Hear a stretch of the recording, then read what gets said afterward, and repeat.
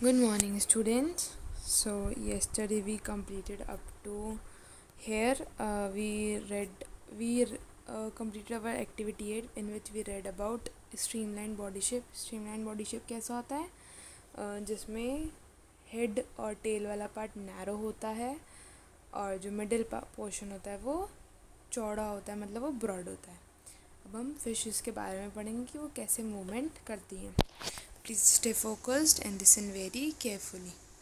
And hold on your pencil with you so that you can mark the underlines.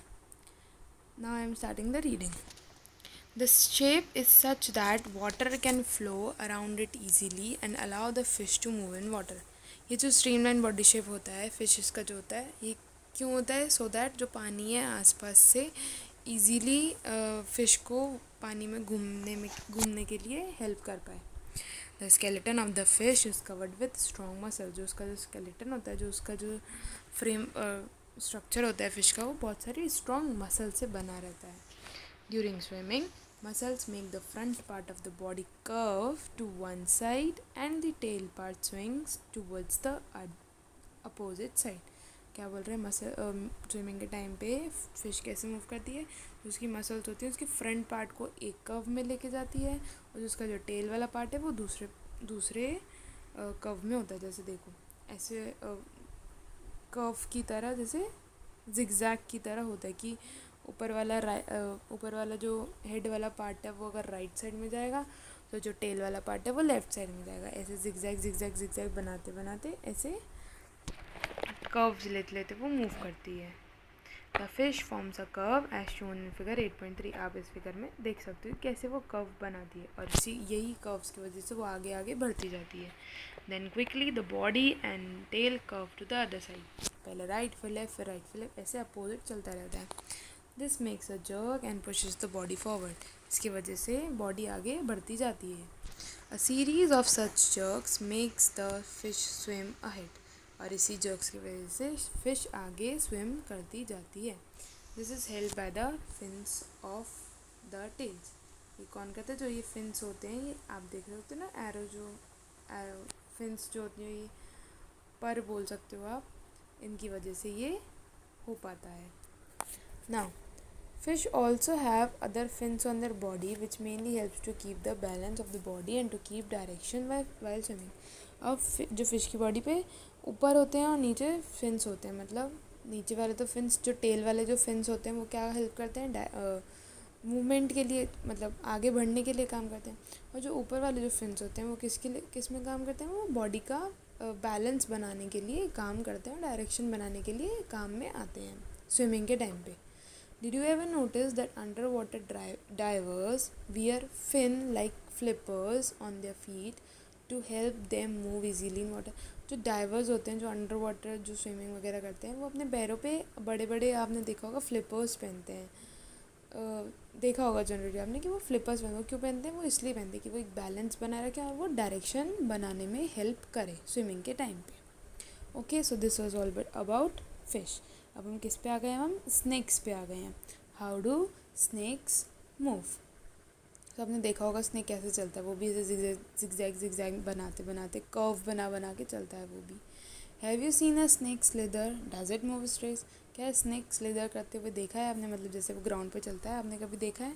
Does it move straight क्या वो सीधा चलता है क्या? Figure eight point four eight point two four snakes have a long backbone snakes की backbone कैसी होती है? बहुत लंबी होती है। They have many thin muscles उनकी जो मसल्स वो बहुत पतली होती हैं। They are connected to each other, even though they are far from one another. अगर वो कनेक्टेड रहती हैं एक दूसरे से, अगर वो दूर भी होती हैं मतलब डिस्टेंस होती है बट वो एक दूसरे से कनेक्टेड रहती हैं, तभी वो लंबी होती है अपनी। Muscles also interconnect the backbone ribs and skin और जो उसकी मसल्स होती हैं, वो बैक बोन को रिब्स को और उसकी स्किन को कनेक्ट करे हुए रखती है। The snake's body curves into many loops जो स्नेक की जो बॉडी है, वो कर्व्स लेती जाती है। आप देख सकते हो कितने सारे कर्व्स लेती जाती है, बहुत सारे लूप्स बनाती जाती है। लूप मतलब turns each loop of the snake gives it a forward push by pressing against the ground और जो एक एक लूप होता है, जो एक ही टर्न होता है, उसकी वजह से स्नेक आगे बढ़ता जाता है, उसको फॉरवर्ड पुश मिलता जाता है। Since its long body makes many loops and each loops each loop give gives it this push और जो इतने सारे जो वो इतने सारे जो लूप्स लेता है, वो इतने सारे टर्न्स लेता है छोटे छोटे छोटे टर्न्स लेता है, इस वजह से उसकी बॉडी भी लॉन्ग रहती है। इस वजह से उसको वो जल्दी जल्दी जल्दी मतलब फास्टली मूव कर पाता है, आगे बढ़ पाता है। The snake moves forward very fast and not in a straight line आगे बढ़ता जाता जा, बढ़ता जाता है बहुत जल्दी जल्दी और स्ट्रेट लाइन में नहीं, वो कर्व बनाते बनाते बढ़ता जाता है टर्न लेते लेते। We have learn about the use of bones and muscles for the movements of different animals हमने बोन्स और मसल्स कैसे मूवमेंट होते हैं एनिमल्स में हमने ये पढ़ा। Paheli and Boojho have many question in this sack about the different movements in animals अब पहेली और बोझ बोझों के बाद अभी बहुत सारे क्वेश्चन हैं कि कैसे डिफरेंट एनिमल्स मूव करते हैं। So must so must you be having many unanswered question buzzing in your mind so that वो, अगर पहेली बोझों को भी इतने सारे क्वेश्चन है तो आपको भी होंगे आपके माइंड में। The ancient Greek philosopher Aristotle in his book gait of animals asked himself these question जो एंशियन ग्रीक फिलोसोफर हैं राइटर हैं एरिस्टोटल उन्होंने अपनी बुक में गेट ऑफ़ एनिमल्स में तो ये सारे क्वेश्चंस पूछे और आंसर भी दिए why do why do different animals have their body parts that they do have and how do these body parts help animals to move the way they do जैसे कि सब एनिमल्स का structure कितना different होता है अलग अलग body type होता है अलग अलग बॉडी स्ट्रक्चर होता है और अलग अलग बॉडी पार्ट्स होते हैं और वो बॉडी पार्ट्स कैसे उन्हें मूव करने में हेल्प करते हैं। What are the similarities and different differences in these body parts between different animals और उनके और जैसे डिफरेंट डिफरेंट स्ट्रक्चर होता है डिफरेंट बॉडी पार्ट्स होते हैं। किसी के पास फिन्स होते हैं तैरने के लिए, किसी के पास लेग्स होते हैं, किसी के पास विंग्स होते हैं। तो ये जो डिफरेंट बॉडी पार्ट्स हैं, इनमें सिमिलैरिटीज़ क्या हैं और क्या डिफरेंसेस हैं? How many body parts are needed by different animals for for moving for moving from place to place कि एनिमल्स को कितने बॉडी पार्ट्स की ज़रूरत रहती है एक जगह से मूवमेंट करने के लिए?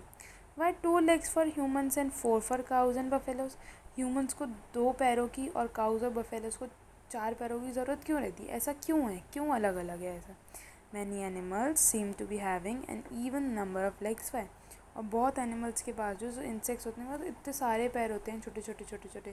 जैसे आप इंसेक्ट्स देते हो, चीटियाँ या एंटीपोड्स जो होते हैं एंटी एंटी हाँ सेंटीपाइड्स जो होते हैं छोटे छोटे कीड़े जो होते हैं बिकॉज़ इतने सारे पैर होते हैं। ऐसा क्यों? Why why is the bending of our legs different from that of our हमारा पैर मोड़ने का तरीका, पैर बेंड करने का तरीका अलग क्यों है? हाथ हाथ से कि हाथ अलग तरीके से बेंड होता है पैर अलग तरीके से बेंड होता है। ऐसा क्यों? So many questions and perhaps we'll have looked for some answers through our activities in this chapter and we need to look for many more answers. हमने इनमें से बहुत क्वेश्चंस के जवाब इस चैप्टर के थ्रू हमने पढ़ ली हमने एक्टिविटीज़ की कि क्यों अलग अलग रहता है, क्योंकि सबका काम अलग अलग है जॉइंट्स अलग अलग हैं बोन्स अलग अलग हैं सबकी बॉडी पार्ट्स अलग अलग हैं। हमने बहुत सारे तो क्वेश्चंस के जवाब इस चैप्टर के थ्रू हमें हमको मिल गए हैं बट अभी भी बहुत सारे आंसर्स हैं जो हमें ढूंढना बाकी है। सो so, वो हम आगे के आगे की फर्दर स्टडीज़ में हायर क्लासेस में हायर चैप्टर्स में हम वो पढ़ेंगे। टिल डैट आज ये चैप्टर एट बॉडी मूवमेंट्स ख़त्म होता है। This is your last video but not this is your last video but not बिल्कुल लास्ट नहीं है मतलब चैप्टर एट का लास्ट वीडियो है ये। चैप्टर एट ख़त्म कर रहे हैं, हम सम अप कर रहे हैं यहाँ पे। सो हमने पूरा ह्यूमन के बारे में पढ़ा स्केलेटन बॉडी ओ body parts joints bones muscles और फिर हमने एनिमल्स के बारे में पढ़ा कि कैसे एनिमल डिफरेंट एनिमल्स कैसे मूव करते हैं, क्या मूवमेंट रहता है उनका, उनमें बोन्स होती हैं कि नहीं होती हैं। हमने ये सब पढ़ा। अब it's up to you the ball is in your court now कि अब आप कैसे इसको रिवाइज़ कर रहे हो, कैसे पढ़ रहे हो, कैसे अच्छे से बिल्कुल थरली रीड कर रहे हो चैप्टर सो दैट ये चैप्टर आपको क्लियर हो जाए।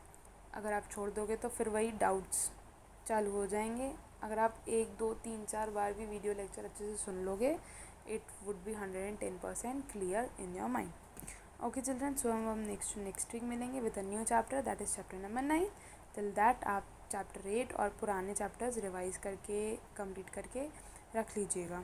Okay till that thank you and stay safe and stay home